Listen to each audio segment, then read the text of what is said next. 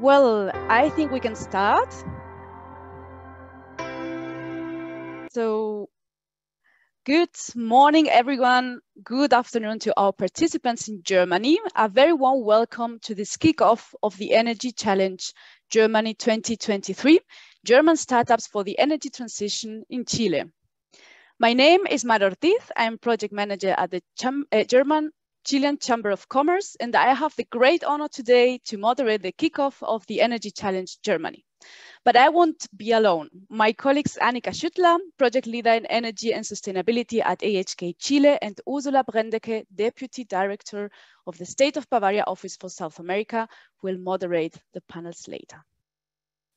This event will take place in English and will be recorded. So if you want to watch it again or share it with some interested startups you may know, we will send you the link later. If you have any questions during the event, please feel free to use the chat. Today, we will present our acceleration program, the Energy Challenge, and we will officially open the application period for all the energy startups from Germany willing to come to Chile. So stay tuned and get prepared because we are not just going to meet some of the startup winners of the previous edition of the energy challenges, but also some experts from the energy and innovation sector in Chile. That means two great panels. But first of all, let me give you some context and information about this acceleration program. From 2019, Chile and Germany are cooperating to enhance the energy transition through the Energy Alliance, the Energy Partnership Chile-Alemania. Fostering innovation to achieve the energy transition is one of the most important uses, uh, issues of both um, governments. And in this context, the AHK Chile, in collaboration with the State of Bavaria Office for South America, and the partners GIZ um, Chile and Expande from Fundación Chile, are organizing the Energy Challenge. The aim of the program is to present German energy startups to representatives of the Chilean industry and of course, open business opportunities. But we will get more details about the program later. Last but not least, I would like to thank our partners who are involved in this initiative, the Energy Partnership Chile-Alemania, the GIZ Chile, Expande from Fundación Chile, German Entrepreneurship, Axel Accelerator, SpinLab, Zentrum Digitalisierung Bayern, BayStartUP, the German-Mexican Chamber of Commerce, and of course, the Federal Ministry for Economics and Climate Action, and the Chilean Ministry of Energy. And today, we are very happy to have uh, Juan Pablo Searle in representation of the Chilean Ministry of Energy with us. And he will give us some welcome words. So, hello, Juan Pedro. Are you there? Hi. Can you turn on your Hi, camera? Mar. Yeah, yeah. Yeah, I, I did welcome. already. Okay, Perfect. shall I start? Yeah, I hand over to you. Okay, super. Thank you. Um, well, Alex Santander sent his apologies. Uh, he was called to a meeting with our minister, and also our minister sent regards to all and wishes success in, in, in this event. So thanks so much for inviting us. Um, let me begin by thanking you all for this invitation, especially the Energy Partnership Initiative, the GIZ, with Germany, a country with uh, which we have had a long-standing relationship in the field of energy cooperation.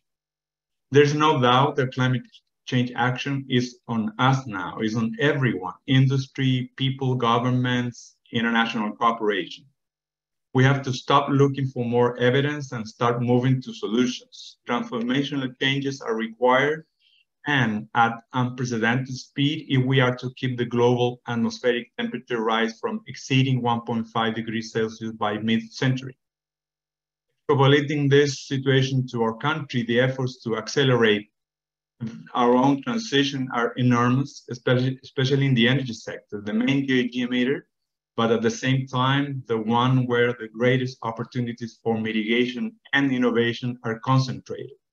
Thankfully, we're confident that our country is heading in the right direction. First, we have committed to be carbon neutral by 2050 or even before 2050. We acquired this obligation by ratifying the Paris Agreement and further reinforced it under the Climate Change Act, both of which require the participation of all stakeholders each and every one of us, regardless of whether we are under public or private hats. Second, the transition in the electricity sector has been more accelerated than planned, with coal phase out being our flagship measure to facilitate greater penetration of renewable energy, including green hydrogen. But we certainly need to move faster and thus take advantage of all the opportunities that will allow us to realize the full technical potential we have in renewable energy, 80 times more than what we have today. With this challenge on our shoulders, we need to implement several solutions, not just over the electricity sector, which in itself will be highly demanding of new infrastructure, especially transmission lines and state-of-the-art technologies, including energy storage and automation of our electrical grid.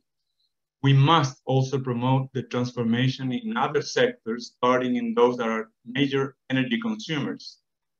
We need to electrify all final energy consumption or wherever it is technologically feasible for the time being we need to accelerate the transition to green technologies. We need to transform the abilities of the electricity market to realize and accommodate the needs of the system instantly. We need more distributed generation and connect it to the grid.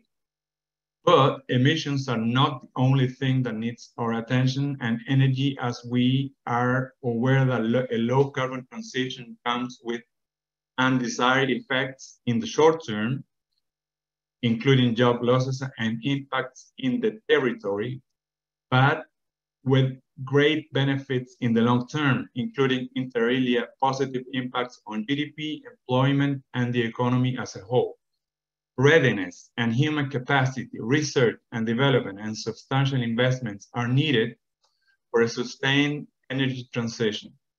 The statement in this moment could be that the energy transition is a necessity for the country, but the way to get it, it matters.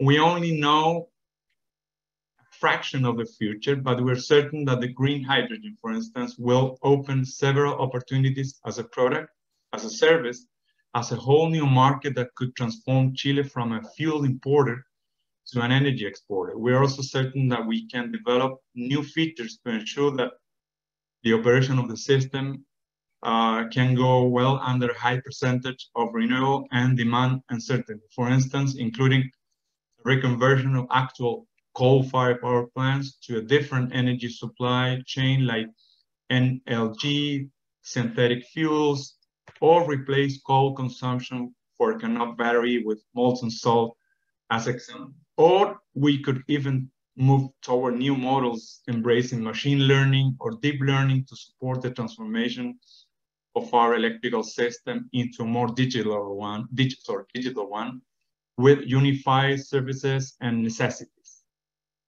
To make the above a reality, the regulatory and public policy framework is important. And this is the third aspect that we wanted to highlight today. The Ministry of Energy is promoted is promoting a series of legal and policy initiatives that have favored the energy transition in the sector, such as the energy policy, the energy efficiency law, and the recent approved solid biofuels law. Um, and has given great urgency to laws that will be essential for a sustained and sustainable transition, such as the laws on energy storage, renewable energy quota, and green hydrogen. To finalize, I would like to end my welcoming remarks by emphasizing the importance of entrepreneurship in supporting the energy transition. Startups are an important springboard for technological innovation, something that Chile needs more and more. We need to become a laboratory for cutting edge technologies and clean fuels and to gradually become an important reference in these matters.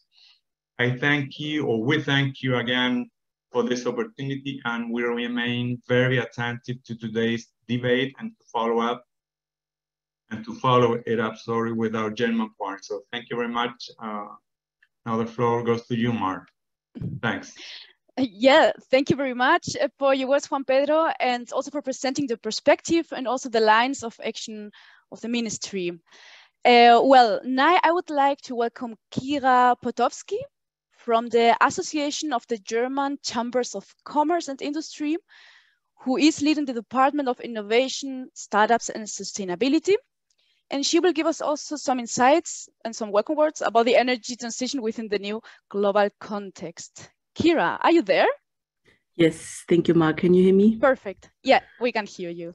Then Perfect. the floor is yours, Kira. Thank you so much. Um, thank you so much. Um, a warm welcome here. Um, actually, I'm not in Berlin right now. I'm in Hamburg at a similar event. Um, this event is talking about twin transition, also a very interesting topic, uh, the combination of um, digitalization and uh, sustainability. Um, and it's actually directed to German and Finnish companies. So here the German um, Chamber of Finland is organizing this event. Um, so it's actually a very nice, um, well, I have been uh, getting this whole uh, impulses uh, the whole day. And I would just um, like to, um, uh, Ma, before I go on, I would like to ask if the uh, uh, participants have access to the chat and I can post some links while also speaking. Yes, yes, of course. Yeah. Perfect. Um, yeah, so, well, um, the topic um, is energy, energy transition in the global world, which actually um, I can um, maybe talk a little bit about uh, the German case. Uh, you have been uh, hearing a lot about um, Germany, who, which is uh, experiencing the need and urge for the energy transition from gas and fossil fuels to an efficient and effective mix of different energy sources as um, yeah, with the Ukraine war and Russia turning off the gas supply, um, suddenly Germany had to face a shortage of gas, which is still making up almost 80% of energy demand in the German industry. And uh, what I learned um, some days ago, even half of German households heat with gas. Uh, so even myself in Berlin, I'm heating with gas. And it's getting to be um, very, um, well, that's what the experts say, um, quite freezy uh, the next coming month uh, here in Germany.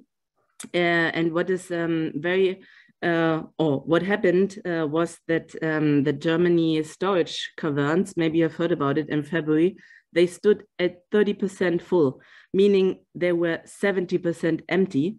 And suddenly um, our new chancellor, Olaf Scholz, and our German econ economic uh, minister, they had to travel the whole world, um, actually doing some treat uh, or deals uh, with countries uh, which are seeing very quite critical concerning human rights and environmental aspects.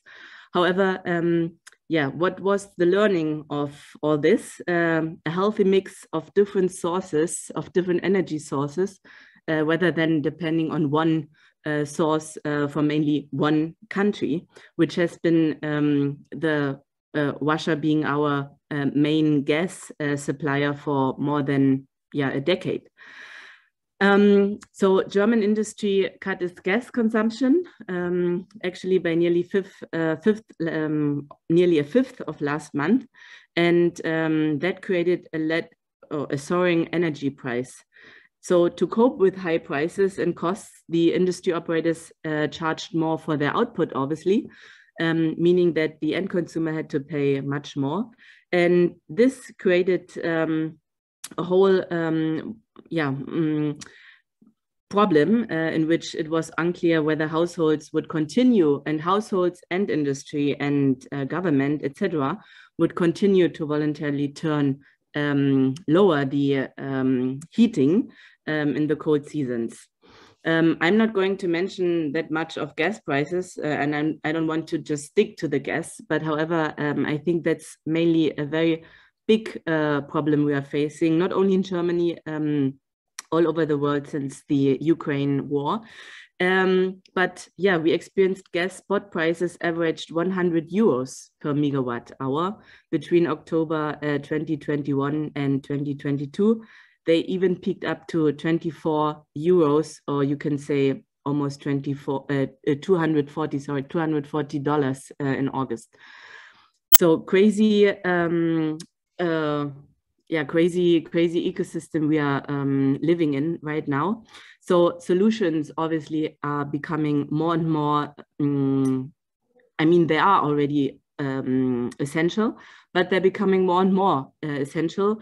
And with solutions, I mean efficient um, solutions that uh, actually do speak of an energy mix and uh, where measurements and the uh, combination with digital solutions are key.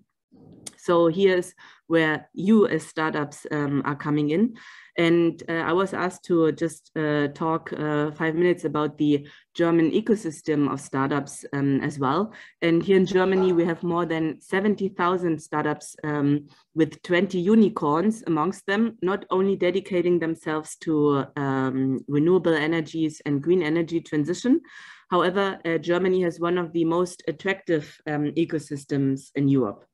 And um, having said this, we actually do have um, a whole um, ecosystem in which um, we, uh, in 2020, um, startups secured more than 1.6 million jobs in Germany. So it's very important to keep on um, promoting them and yeah, doing a lot of effort. And for this, um, actually, there's uh, one agency, the German Trade Agency, maybe you've heard of them. They developed um, 12 digital hubs, and I will um, send you the link since I have it here, and you can, while I'm continuing, uh, also have a look at this initiative. And I think this uh, initiative combining many startups, incubators, combining um, investors is actually a very interesting uh, sorry, a very interesting um, page to look at. So I will just put it uh, to all. So you probably um, see it right now.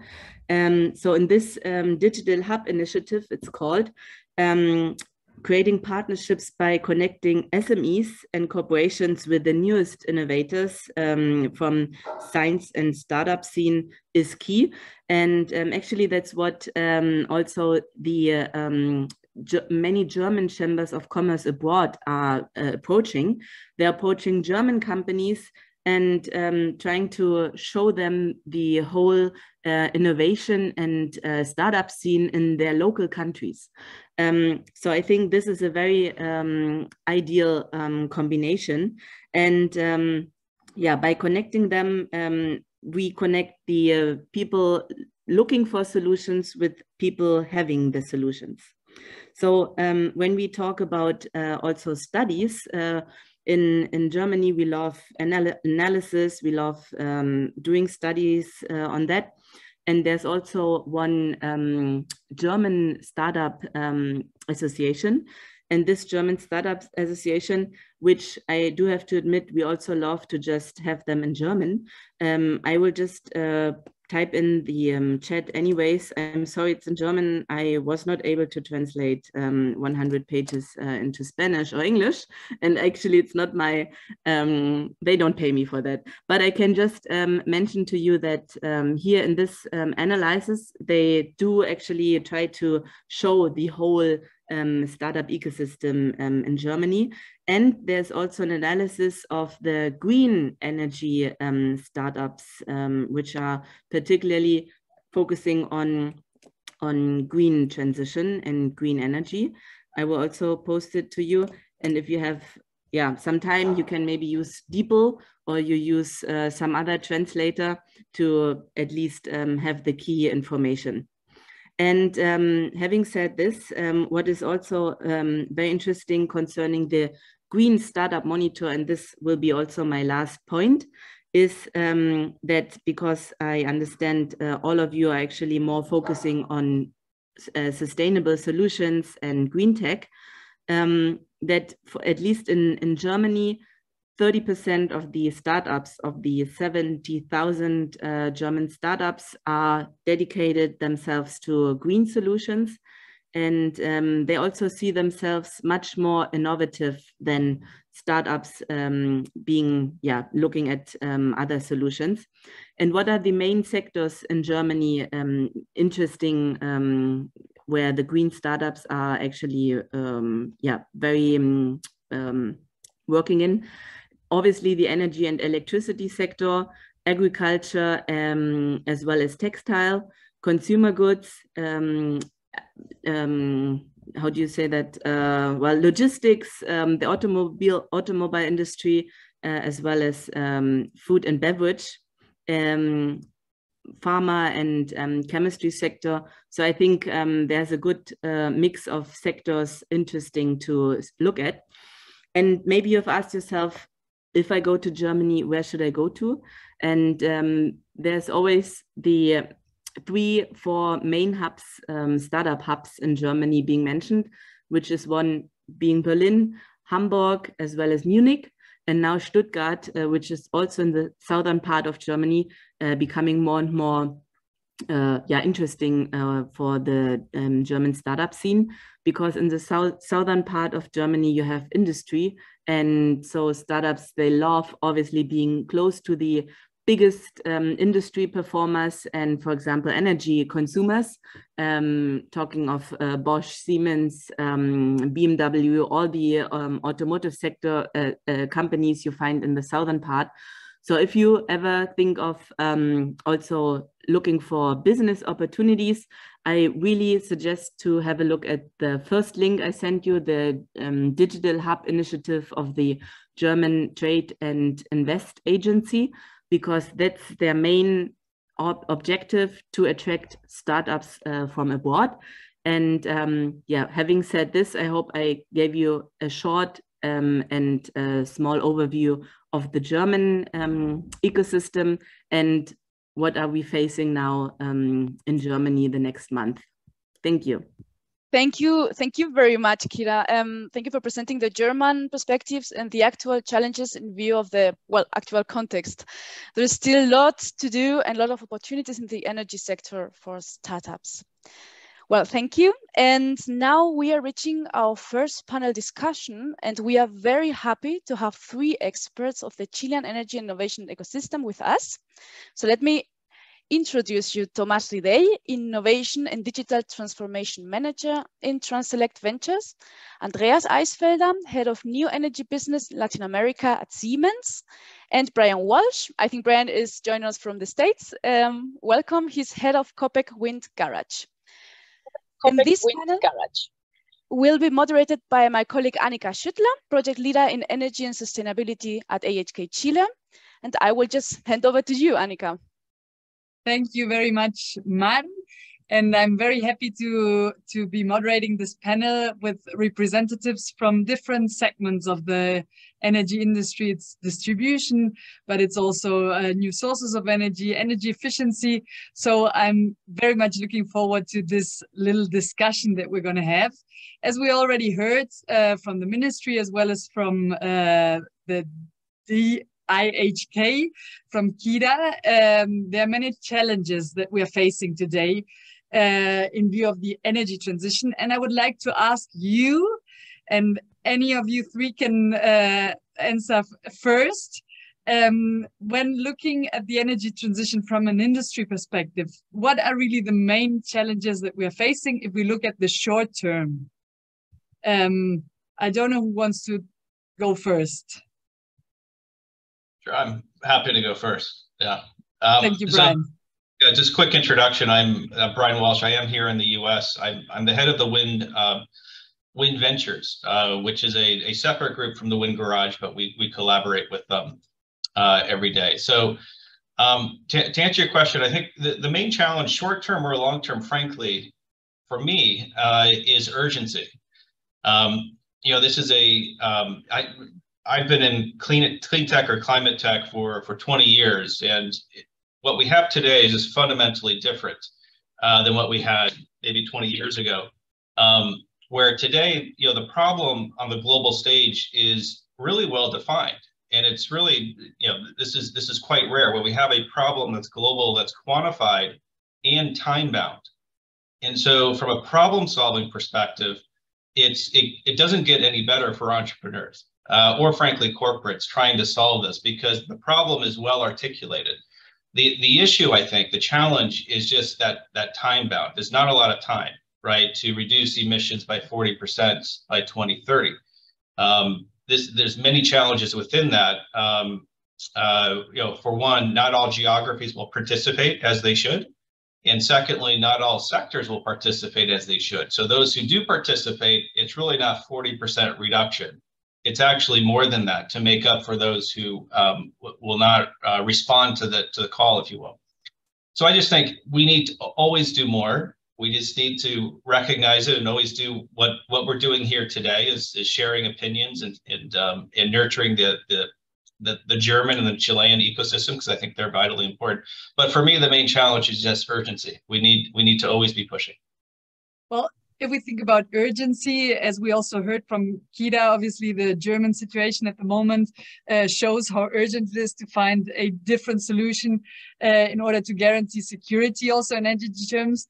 We think about urgency, and if we look at the fact that the three companies have somehow now a uh, corporate venture program in that sense.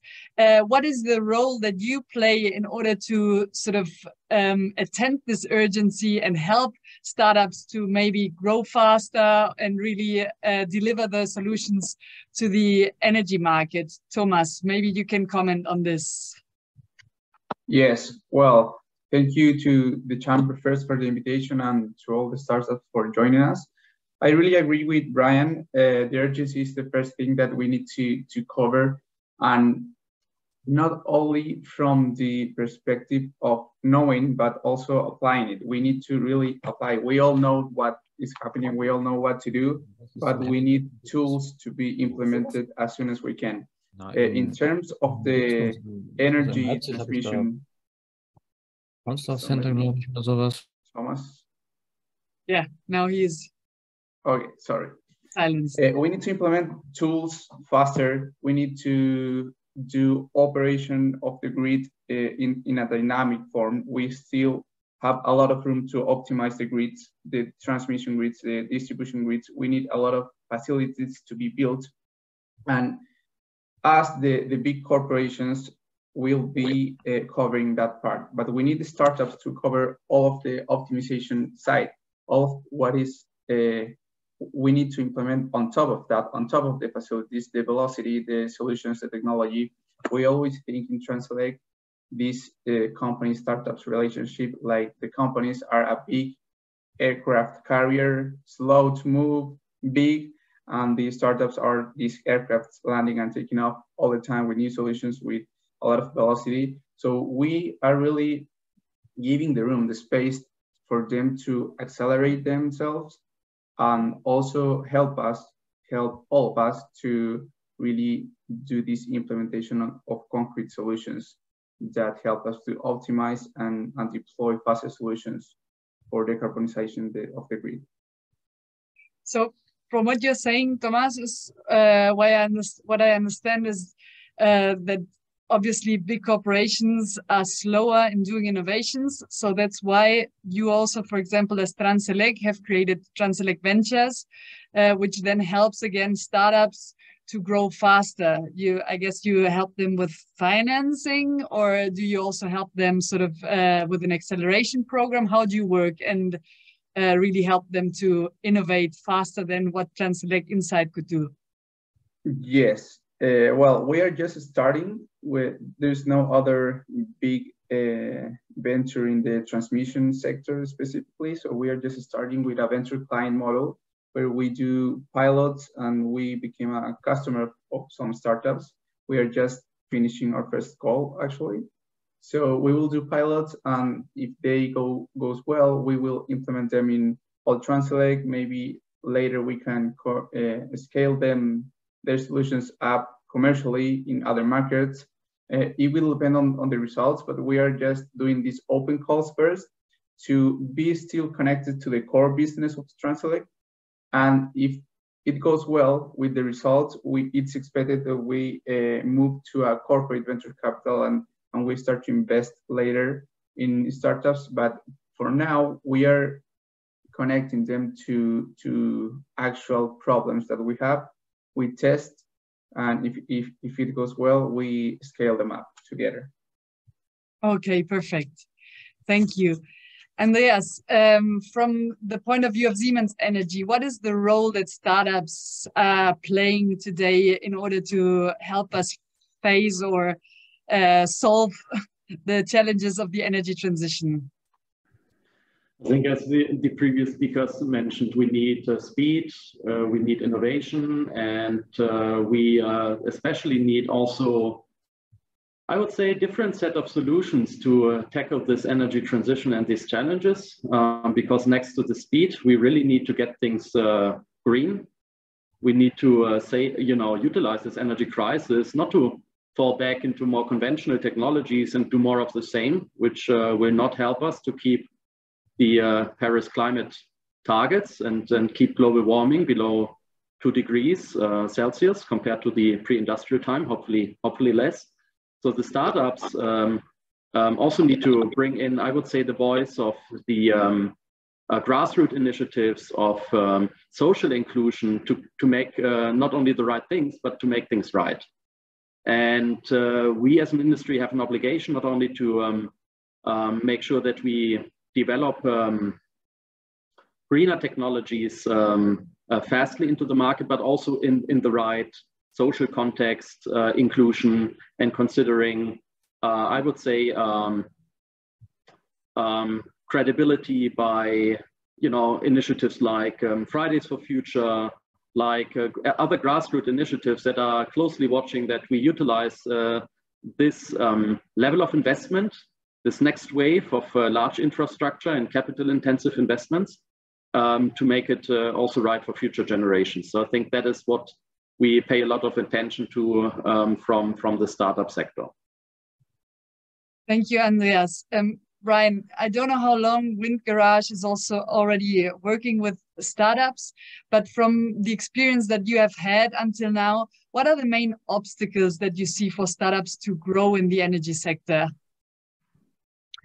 Yeah, um, just a little bit of history. So we uh, we started this in we started talking about this in 2018. Uh, we formalized what we call WIND, which includes WIND Ventures, which is my team here in San Francisco. We're the strategic venture capital group. And then the Wind Garage are, let's say they're the partnering teams, and they're local in uh, Latin America, in Chile and in, in Bogota, Colombia. So they get to think about new ideas and they get to think about uh, launching new businesses, but also they get to partner with the investments that we make. So that, that's how our model works. Um, and so your question is uh, obstacles to scale within Latin America. Yes. Well, in this case, uh, Latin America, it's easier to get it down to a market. Yeah. Well, I think I think there's a lot. I think there's a lot of things going for energy startups uh, and I hit on that a little bit um, uh, in my earlier comment, but back in the day when I started out, it was very much a pull, right? So it was passion driven, it was emotional driven, saying we should do this, but no one really knows what to do. But here's a new technology, we should just do this, right? So it was push, push, push. It's very different now because it's time bound and it's defined what we have to do by when. And so it's very much a pull. Corporates are creating markets, um, policies are creating markets um, and everyone's sort of headed in the right direction. So it's a nice sort of you know pull technology into it. So that's a very good thing. Um, that said, to do that well, you still need really good governance. You still need really good capital. You still need um, you know you, you have to recognize startups are usually doing something for the very first time, right? That's what makes them high risk startups. Um, and so if they succeed, it's a big it's a big impact and big success for those who are involved. But most don't actually succeed, right? But then they inspire others to do something slightly different, and perhaps they succeed. So it's always a worthwhile endeavor. Um, and so I think the challenge is just company building. It's saying, listen, this is a wonderful time to be an energy startup. Wonderful time. Uh, but there's a lot of different types of capital right? Infrastructure, which the previous panel has said, there's different types of venture capital. It gets very messy. And if you believe Silicon Valley Bank that studies it, we're in the era of diversification and specialization of venture capital. So no longer is it dominated by these big generalist funds in Sand Hill Road. You have these micro funds, and they all have a different specialty. Our Wind Ventures, for example, our value beyond capital is unfair access to Latin America, just as an example. So you have to pick your capital correctly because that then influences your board, which is your really important governance mechanism, uh, et cetera, et cetera. So I'd say how you set up, you have to be very, not careful, but very deliberate. And that will help you mitigate the risks and the challenges ahead of you. Thank you, uh, Brian. Uh, yeah, that's quite right. I mean, uh, what we also sorted out in the study that we did is definitely governance is a very important thing. You need clear rules for startups in the energy sector to grow. And on the other hand is also always financing. And uh, as you said, now we are much more specialized. We have much more specialized funds. And there, Thomas, I would like to ask you, as you are in the transmission sector, and from what I understand, what you search is first of all startups that solve problems that you as a transmission uh, company have. How do you uh, sort of launch your challenges or how do you find these startups that can help you solve these problems that you have? Right. We just did our first call on September and we were supported by Imagine, who is a, a company here in Chile specialized to corporate venturing startups. So they helped us to, to launch this, this call to find the right startups. And we, it ended up really well. We had more than 19 countries, I think, uh, applying. So it was a really good result. So we launched uh, this call open, like anybody can, can apply through a form and also Imagine did the work of scouting some specific startups. And it's expected that we continue with this. Of course, we'll do a second and a third call on 2023. So uh, the calls will be um, still run by us. Anybody can apply in, in our webpage and all the, the challenges are, are will, will be changing in this uh, particular call, we did um, a data challenge, a noise challenge for facilities that are emitting too, too, too much noise, and also a sustainable transmission challenge to, um, to help us to improve some operational ma maintenance and things. Uh, so it's expected later that we that we launch different calls, different challenges, and always open to more than these calls, we are always open to receive startups. We are always doing pilots. We are always uh, helping also startups, even if we are not doing a pilot. So the invitation is open to, to anybody to, to contact us and promote their solutions with us. And for the last question that you asked, uh, Ryan, and in this particular case for us in transmission and transit ventures in our segment, I will say that uh, something that startups may face is uh, that they need to have patience. Uh, we are slow decision makers. We are slow. Uh, the regulation also, the government is not fast. Always the startups are moving ahead of government, ahead of regulation, ahead of, ahead of uh, corporates. So they need really patience because Brian is right. We have the the the solutions, what it's need to to be done really clear, but uh, it's interesting or crazy, but it's not just go and do it. You will still face too many processes, too slow, too many slow decision makers. So the patience is the key, I, I guess. It's it's a challenge for us also to to break that that uh, that problems. Actually, when it's intentionally, I think, Brian, you can confirm confirm this, but wind is intentionally uh, another uh, arm of of the big corporation because of this, because of this slow decision making and all of that. So the patience is also a, a thing to face. Thank you, Thomas. Um, Andreas, uh, as we heard already from Thomas, one of the main reasons why uh, corporates are now sort of uh, opening this corporate venturing is in order to to fasten uh, the innovation processes. Is this the same for Siemens Energy, or how does Siemens Energy mm. relate to the startup world? Right, Annika. Um, I think again that um, Siemens Energy uh, um, who, by the way, we just celebrated our 175th anniversary as, as Siemens and now Siemens Energy. And we've been at the forefront of R&D and uh, innovation in electrical um, automation, digitalization technologies. Um, Uh, but as um, you know, uh, the core business of uh, Siemens Energy, that's where we also focus our R&D initiatives. But to make an energy transition happen, really along the whole value chain, I think it requires a lot of eyes and ears along different parts of this value chain, this collaboration. That's exactly where these startups come in because you know they think out of the box. Uh, they are also prepared to do things differently.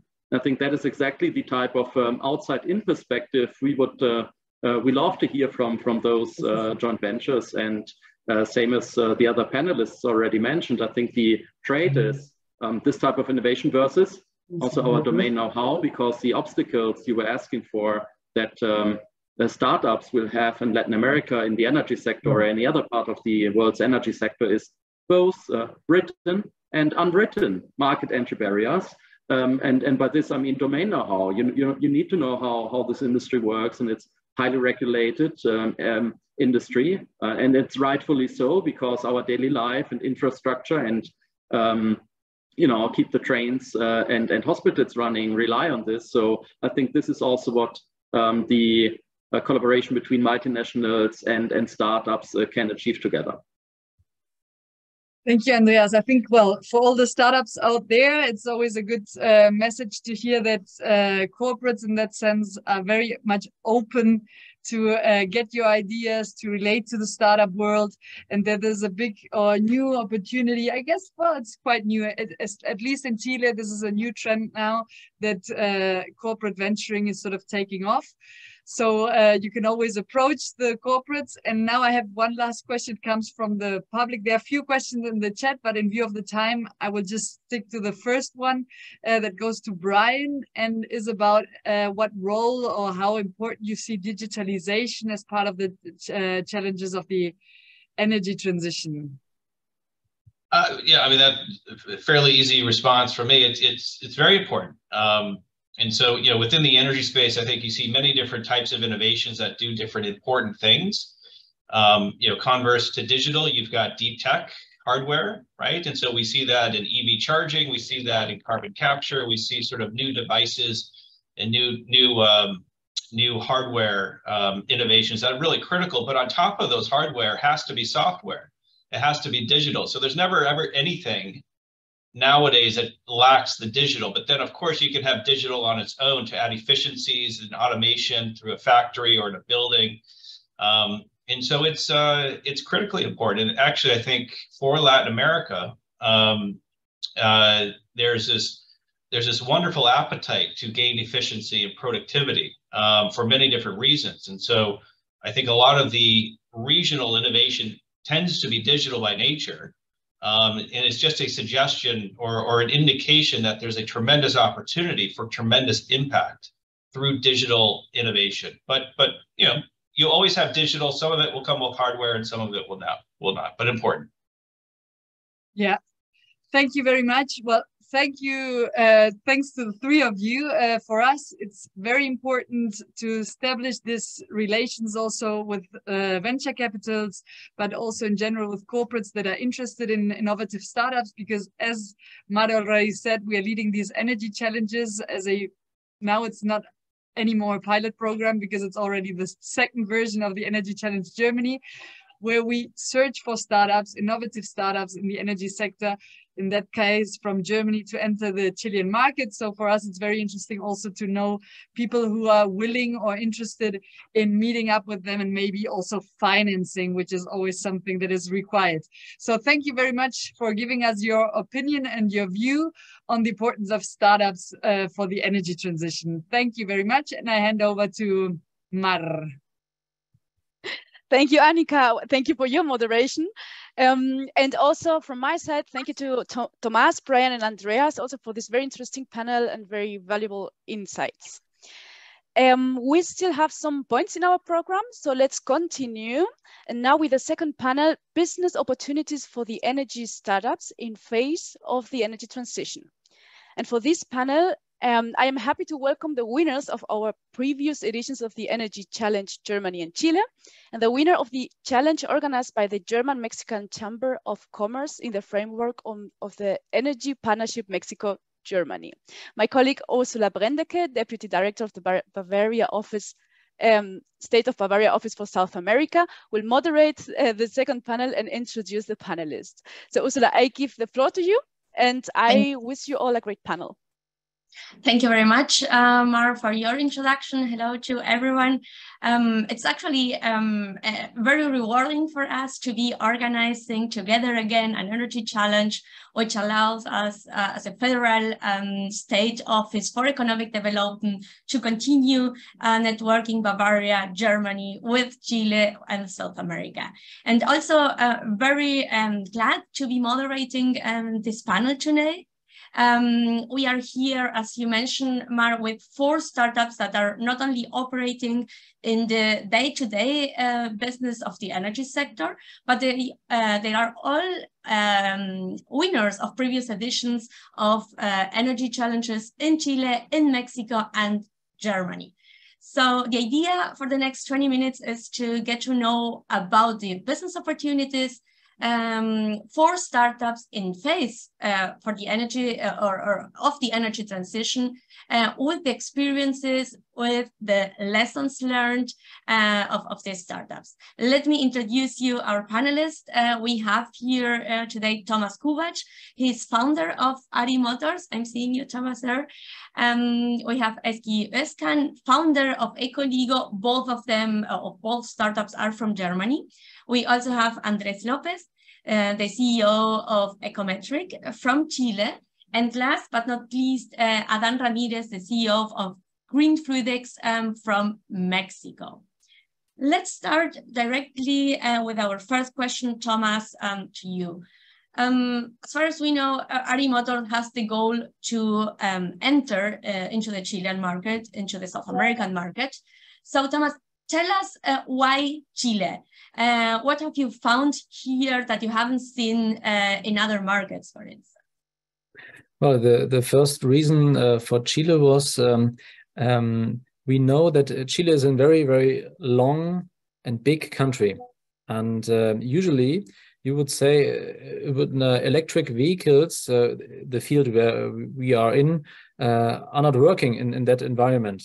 but in fact, we find out that of course, there are already electric vehicles uh, working. Electric vehicles are used by our target group, which is the exactly the same as in, in Germany. And so we we actually uh, get this this information. We might thought it, it could be like that, but now um, with as an as a finalist of this of this program, we find out yes, exactly this is the way, and we could use this information for our customers in, in Germany as well, just to say, look, even in Chile, in such a big country, that you're using electric vehicles. So it was a very, very good experience to find out what happened on this market here and how we can uh, transit this to, to, to the German market. Thank you, Thomas. And Ezgi, um, you are a German startup, but though with uh, already experienced in operating in the Chilean market for quite some time now. So with an European, with a, a German perspective, how mature, how ready do you find the Chilean market to face the energy transition? Is the local market actually ready, open for innovative solutions like yours?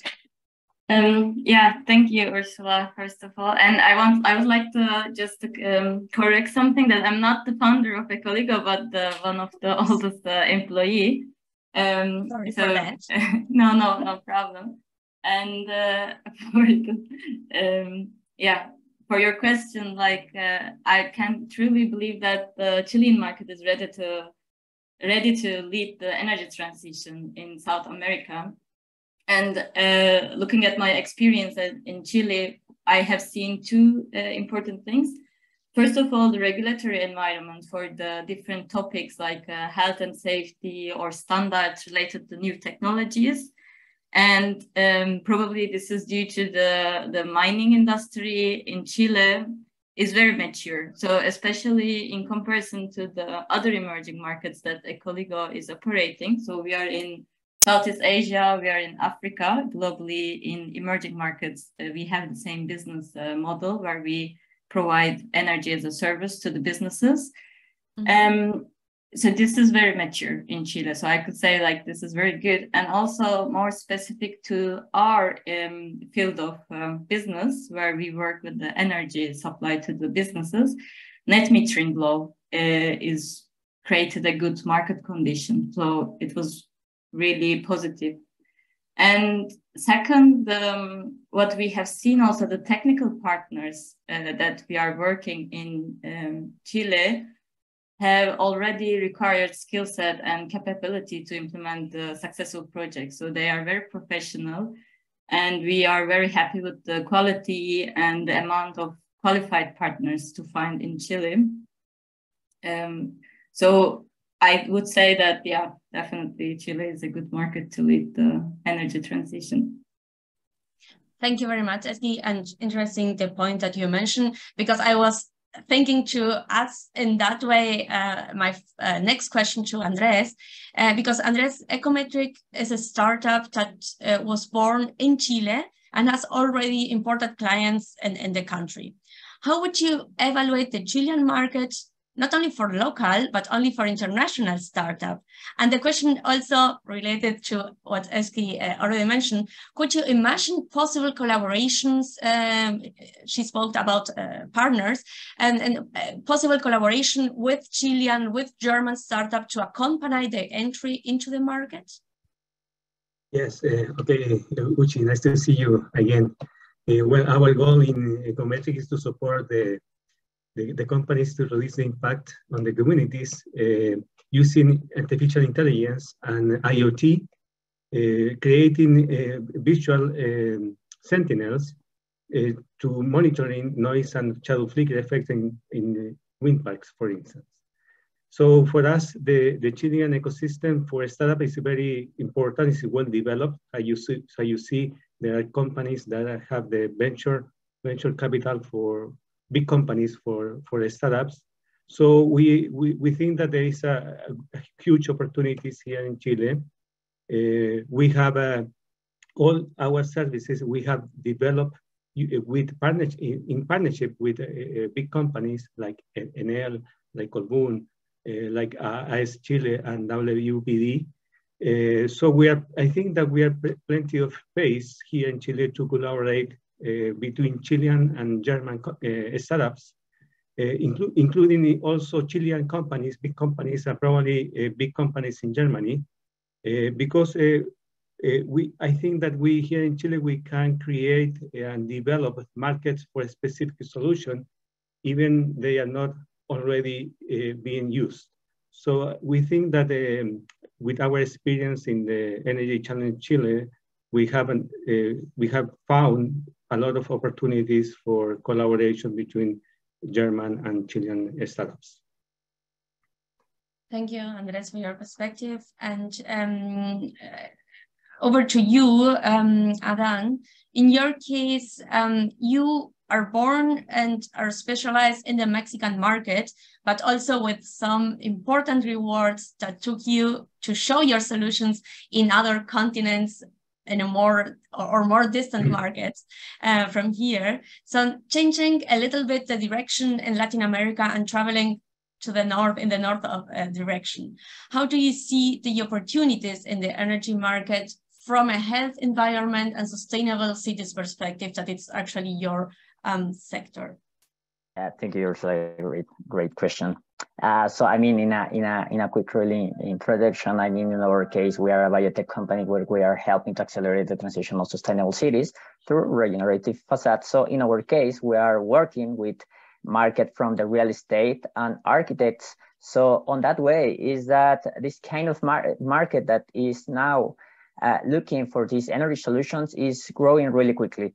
Uh, also here in Latin America and also in Mexico, where basically by the pandemics, has like accelerating all these uh, trying to look for these new solutions because now the people and the market is trying to look for solutions that also more than energy efficiency is also looking for helping to their health and also for these sustainable trends. So basically now they are looking to have like a, a recovery from the pandemics, but now growing in these uh, sustainability and sustainability uh, solutions. So now the opportunity is growing. Also for another things, for example, in our case of Mexico, that I think that is something like the same in Chile, that the earthquakes in the in the in the case of uh, buildings also is accelerated. That they are looking how to retrofit and renovate their buildings. But now that's why they are looking for these solutions that could help them in order to get more energy efficiency, but at the same time to comply with uh, the more than the trends for the things that the clients are looking to live in a health in a health uh, housing on some buildings that have like these uh, offices that comply with sustainability and all these green trends. So basically, the opportunities is growing, yeah, surely. And also, I think that uh, the energy solution is here not only to comply to to save more energy, but I think that here the energy solution is to help to this uh, health regeneration for the people that is now looking after the pandemics. Thank you, Adan. You're welcome. Um, back to you, Thomas. Um, you came uh, to Chile and South America in the framework of, an, of the Energy Challenge Germany 2021. So in order to explore the Chilean market, to understand it, uh, get to know the ecosystem, the local players here, how was this experience? Tell us a little bit about that. What did you find? Which stakeholders have you found here? Um, what was your, your experience there? First of all, it was a really uh, warm, warm welcome. Even it was uh, colder than in Germany uh, from the temperatures. but yeah. Uh, nevertheless, I, I, have, I hadn't had the experience to travel within summertime to the to the south of uh, of the world, more or less. So this was yes. really, really yeah.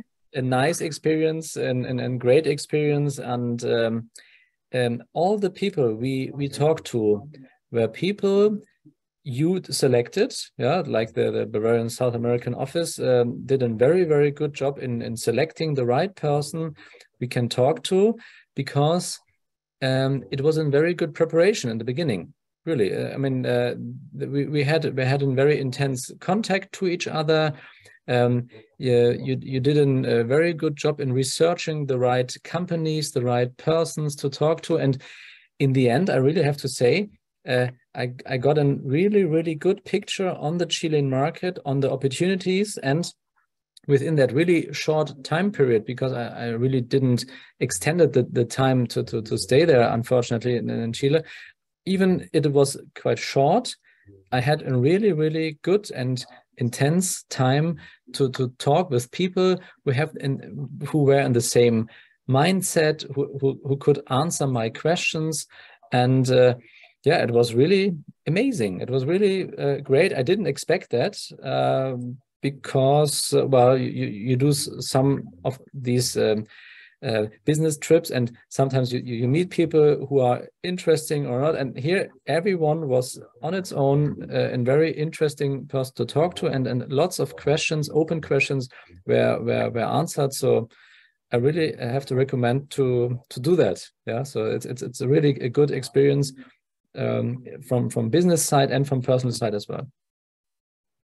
Thank you, um, Thomas. Um, and um, Ezgi, um, considering that you have already done an entry market process in the country and you have already um, have an office here in, in Chile, which uh, way or in which way um, have contributed you the Energy Challenge initiative and also the possibility to be an exhibitor, exhibitor and uh, at the Trade uh, Fair Exponor 2021, the meetings that we organized for you.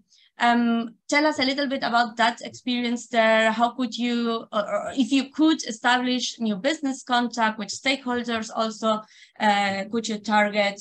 Um, tell us about that experience. Thank you. So yeah, the participation to Exponor was a, a, great opportunity to see the overall um, the overall picture of the how Chilean market is um, um, getting ready for the energy transition. I think because we had the opportunity to present our business model to important stakeholders and to create awareness uh, on the importance of the um, innovation considering the green energy technologies.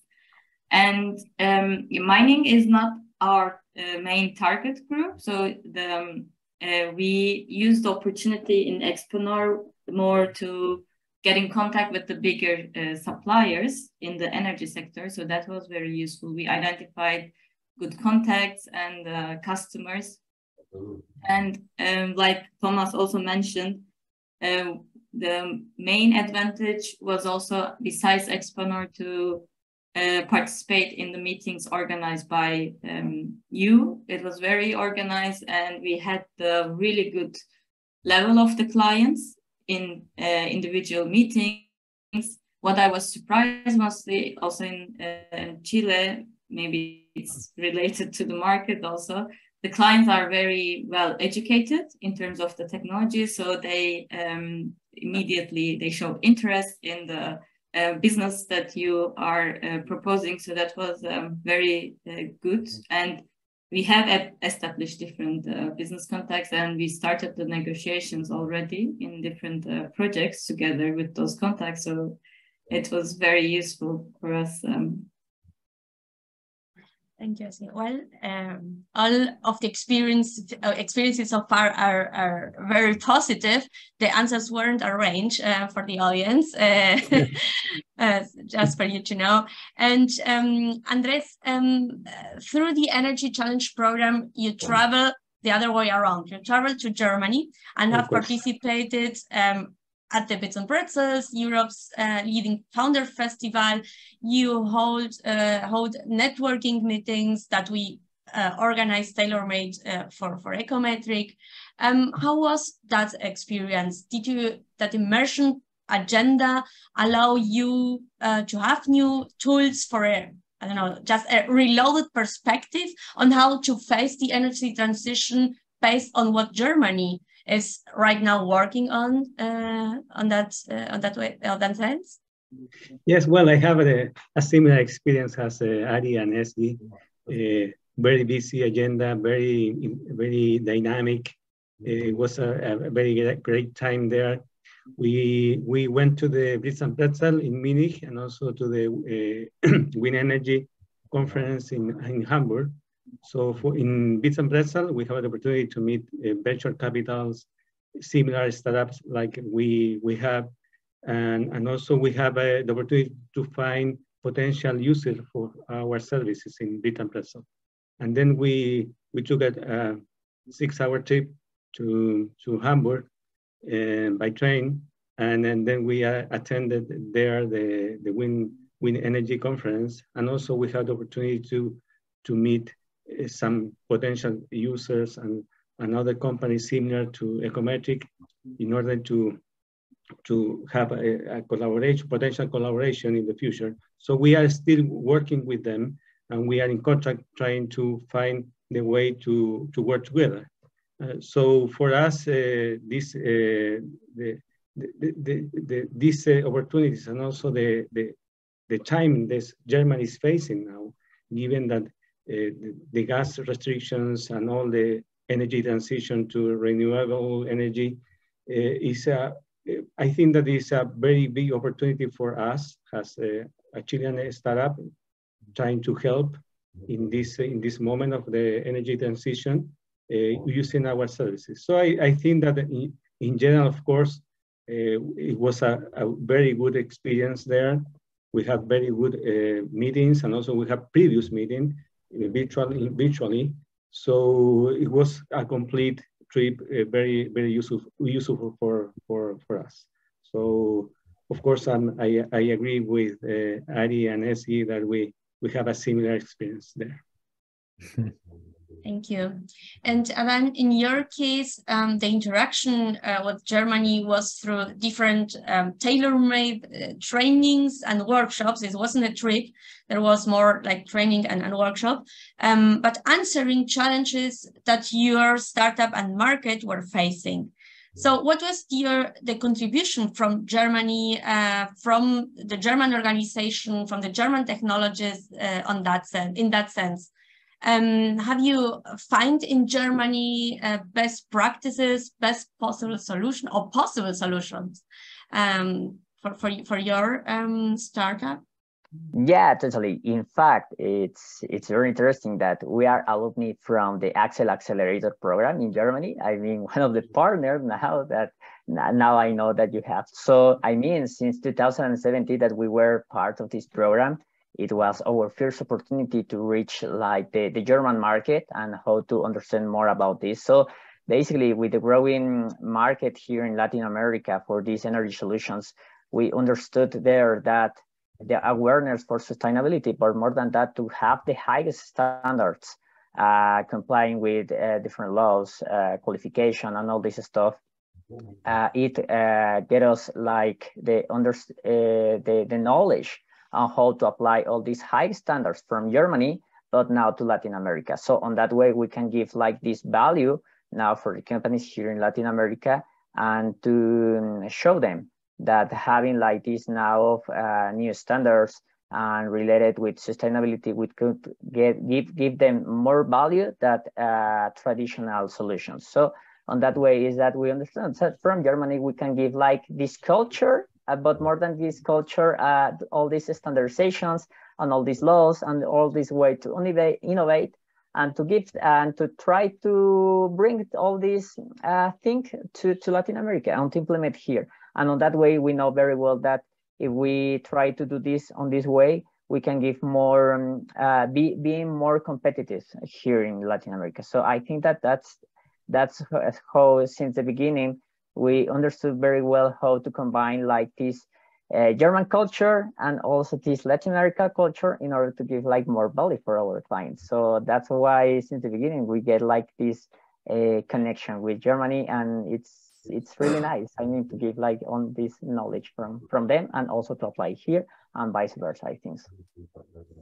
Thank you, Adan, uh, because it's interesting uh, because I we I um moderating this panel, but we from our organization see a lot of potential uh, for you to um, work together with um, local startups, with local organizations in order to enter um, the, the South American market. So uh, we have um, to, to wrap uh, the session up because we are running out of time, but I would like um, to, to ask you um, one more uh, question. It's actually not a question, it's a, a, sentence, a recommendation, one statement from your side, a short one, um, for the audience, for the startups that are interested in, in, in to enter into the South American market. Um, Ari, um, Ari Motors or Thomas, let's uh, start with you, since you were the first one. Thomas, what would, would be your, um, yeah, uh, sentence slash is, uh, recommendation. Uh, yeah, recommendation is definitely uh, do it. Uh, don't think uh, should I do it or should I don't do it. Uh, just do it. Uh, apply for the program. It, it's worth. And well, if you're if, if you're not elected, no matter what, but you, you have tried it and um, don't wait for it. Just do it, and you will see it. It will it will be a great experience for you and your business. Thank you, Ezgi. Uh, thank you. Yeah, I can second uh, Thomas. I guess, like I think from our experience, Chile is also very good market to start if you want to um, start your business in Latin America. So you can start in Chile because it's easy to enter the market. Easy to uh, um, relation and the price. Um, yeah, and seek the opportunity to get the part with the good institution like uh, uh, AHA or the German institution. So. Thank you. Um, Andres? No, nothing to say. With this team of uh, you, uh, Annika, Mar, and Pamela, uh, you will have a wonderful experience in, in Chile if you are selected. So let's go participate. Thank you. And Adan? From your side? Yeah, surely uh, apply. So I think that uh, basically in a few words, big opportunities, big opportunities and big alliances waiting for you here to grow in your startup really quickly. So yeah, you have to apply. Thank you very much. Um, big up, uh, virtual applause for, for all our panelists. Thank you for, for joining us today and to the audience, to the startups. We hope we can give you um, some hints and uh, about the not only about the market but also uh, from uh, the program and can motivate you to to apply um, to the initiative. Mar, um, over to you. The floor back to you. Thank you, Ursula. Thank you for moderating this very interesting panel. And a very special thanks also to our guests, Thomas, Ezgi, Andres, and Adan for your statements. It is always a pleasure to see you again. And I'm sure we have motivated some startups to come to Latin America. So thank you to all of you. And let's come to the next point. Um, I've read already some questions in the chat, and now it's time to present the Energy Challenge Germany 2023. And for this presentation, I will give the floor to Michael Schmidt from the GIZ and representatives of the Energy Partnership Chile-Alemania. So Michael, we are looking forward to your presentation. Thank you very much, Mark. Uh, can you just confirm if you hear me well? Yeah, we can hear Perfect. you, we can see you. Yes, so uh, given the fact that we're already advanced in time, I will try to make it make it short. Um, basically, this is about uh, showing to you, um, just a second, how you can apply, who can apply, uh, and what Michael, I think we, yeah. we are seeing your screen, but just, ah, now, okay, now it's. Yes, okay. Yeah, no, it's okay. So yes, this is about short presentation, who can apply and how to apply and what is awaiting you. Uh, first of all, thanks to all the team of um, the AHK Chile and also the, the Bavarian representation here in Latin America for the great work you have done in the last uh, round of the Energy Challenge to Chile and also to Germany. Also thanks to all these great partners that you can, can see down there um, in our key visual. Um, just very quickly, I give you an introduction about what is the Energy Challenge, uh, the program itself, what is the agenda for the winners, and also the agenda for the next uh, for the process um, after this kickoff, and also uh, um, what is the Expomin, which will be the the trade fair or the mining fair for innovation, where the winners uh, will be traveling to. Um, the energy challenge between Chile and Germany exists uh, since 2019. Um, has been um, we have been working for a bit more than three years now, as Mar said before. Um, we're working on many different uh, aspects of the energy transition, uh, um, exchange of um, knowledge, exchange of experiences, and uh, an important part for us is innovation because, uh, of course, we need to change our culture of living also for the combat uh, against climate change, but we need uh, entrepreneurship, innovation, and we need uh, people with innovative spirits in both countries in this case, uh, all around the world as well. Um, but in this case, we're talking about um, the collaboration between Chile and Germany, and especially German startups who, startups who can help with the energy, energy transition here in Chile. And what kind of startups are we looking for? Um, as said, it was said before by Kira, uh, we are working or we're thinking about the area of green green startups, green startups in um, in the field of energy. So it can be a startup that contributes to the energy transition in energy efficiency, uh, in in grids, and smart grids, resilient grids, um, energy and heat storage, um, industry 4.0 uh, everything that has to be with e-mobility and smart mobility, green and also blue hydrogen to a certain extent, um, renewable energy generation, renewable energy hardware, uh, everything that goes around this, um, efficient information management and optimization, life cycle analysis, digital technologies, uh, new materials, and also startups that can offer other innovative, innovative business models. Um, and what do we offer? Uh, for the winners, we offer the possibility to, pitch here in Chile in front of industry leaders and investors, founders, multipliers, research, and also uh, representatives from academia. Um, as a winner, you can be part of Chile's top innovation and energy hubs, and you can get in touch with high-level representatives, representatives, as I said before. And in a moment, uh, we will show you also how what these um, hub participants are called. Um, you will get you will get access, exclusive access to Chile's entrepreneurial ecosystem and meet up with decision makers in a collaborative environment.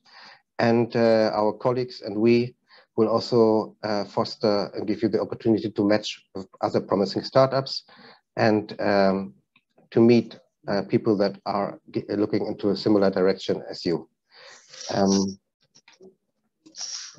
the program covers in general, that also answers some of the questions we had in the chats before. It, it covers your flight from Germany to Chile. Uh, it covers one week uh, of, um, of hotel stay here in Chile. Um, it gives you a pers personalized agenda of one week and uh, also the ticket for Expomin. And Expomin is the largest mining show in Latin America. And it's a space that promotes transfer of knowledge, uh, innovation, um, and contributes to the increase of productivity in the mining sector. But uh, as the mining sector also is a big part of the energy uh, uh ecosystem, um, it's a great spot to pitch there and to present uh, yourselves and to make new contacts. You can see what uh, what uh, uh, Ezgi and and um, Thomas, who just uh, before us uh, talked to us in the panel, have experienced this June. They went to Chile and visited Exponor in Antofagasta. Here on the picture, you can see them. On the, on the top, you can see the design of their stand. So they had their own stand there at the at the fair Exponor. And uh, as I said before, it was a very valuable experience for them. Uh, who can apply. Uh, our prerequisite prerequisites for startups who want to apply is they need to have a validated solution yet. Um, they have a, need to have a, a, business model and an own product or a service on the market. Um, at least they need a Series A funding. Um, and that means they are facing the necessity to scale up and to work with strategic partners. Um, they need to have the capacity capacity to engage with major industry partners um, and the capacity to work with other uh, other partners. And of course, uh, as we are working in an international uh, environment, um, you need to be able to pitch in English and answer questions and attend meetings uh, working with the language uh, English.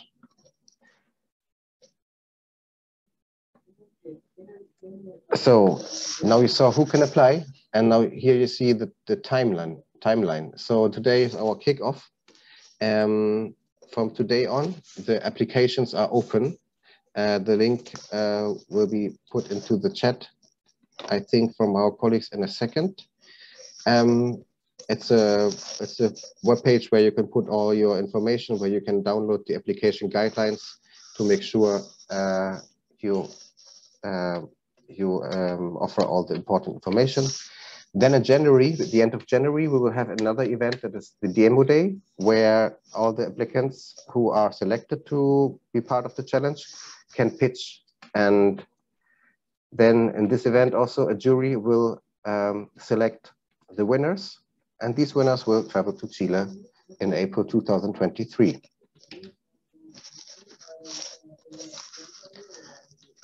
Um, as I said, the demo day will be the, the, the event to uh, award our winning startups. So if you want to be part of this demo day, uh, apply from today on and also let all your partners, acquaintances, um, other startups that you know of, uh, let them know how they can apply and where they can apply. Uh, just a quick word on on what will happen on April. As I said, you have a seven days uh, stay here in Chile with lots of meetings, uh, um, personalized for your needs and also what you are offering for. Um, and you will also be at the industry fair and mining fair Expomin. These are some of the these are some of the partners uh, that you can work here with in Chile. These are um, different uh, ventures uh, of the Chilean startup ecosystem. And here are a few more. for example, Expande from Fundación Chile, who are working with us closely um, in the organi uh, organization of this challenge this year. And this is basically it. Um, uh, if there are any questions, I think uh, you will also have the opportunity to, to write emails. Uh, but uh, first of all, I will let you with um, our links in the chat and I will give over to Mar. Thank you. Thank you, Michael, for presenting the Energy Challenge Germany. I already posted the links uh, in the chat so that you can find them. And well, from now on, as Michael said, the application is officially open until December 15th. And now we are uh, close to the end of this event. And for the closing remarks, I would like to call up to the virtual stage Madeleine Collet from Expande Fundación Chile, which is also our partner in this initiative. Please, Madeleine. Mm -hmm. Are you there? Can you hear me? Yeah, perfect. We can hear you, we can see you. The okay. stage is yours. Mm -hmm. Good afternoon, everyone. Well, let me introduce myself. My name is Madeleine Collet, Technology Manager of Expande Program in Fundación Chile. We thank AHK Chile and the State of Bavaria Office for South America the invitation to collaborate in Energy, in Energy Challenge Germany 2023. As Expande, we are interested in collaborating with both entities in order to promote the visibility of startups from Germany and Chile, strengthening the relationship between both countries. Expande is an open innovation program that currently collaborates with the main natural resource companies established in Chile, capturing value for their businesses through high impact technologies that contribute to a more sustainable industry. On this occasion, for the second time, we support this challenge that identifies German startups that have solutions for the energy transition in Chile. From Fundación Chile and to Expande, we aim to foster innovative solutions that promote the use of cleaner energy in the short to medium term in order to mitigate greenhouse gas emissions. Expande is in a position to facilitate this process by answering, answering your questions about the application platform. In addition, we invite you to, to visit our website.